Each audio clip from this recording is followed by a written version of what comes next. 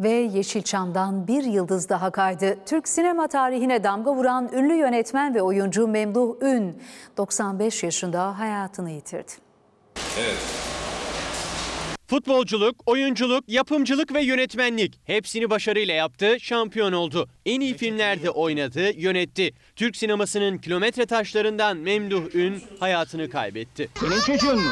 Evet ne olacak? Ben rejisörüm. Ne zamandır çevireceğim film için böyle yetenekli bir çocuk arıyorum. Tam adı Arif Memduh Ün. Hayata gözlerini 1920'de Kasımpaşa'da açtı. Babası Silivri Kapı Karakolu'nda polisti. Ondan gizli gizli futbol oynadı. Tıp fakültesinde okudu ama yarım bıraktı. Onun gönlü yeşil sahalardaydı. Öyle ki 1940'ta şampiyon olan Beşiktaş'ın kadrosunda Memduh Ün de vardı. Çok güzel isim. Çok para kazanacaksınız. 100 bin, 200 bin, Lira mı bu? lira tabii. Stadyumun tadına doyunca içinde bu kez de sinema aşkı büyümeye başladı. Aniden yeşil sahalardan Yeşilçam'a geçti. Önce kameranın önündeydi. Sonra arkasına geçti. Yönetmen koltuğuna oturdu. Kendi setine figüranlık için gelen genç bir kızla Yeşilçam'ın efsane ikililerinden biri olacaklarından haberi yoktu. O kız Fatma Girik'ti. Ne var ne oluyor? Hemen muayene edeceksin doktor bey. Peki hanım peki. Sen dışarıda bekle.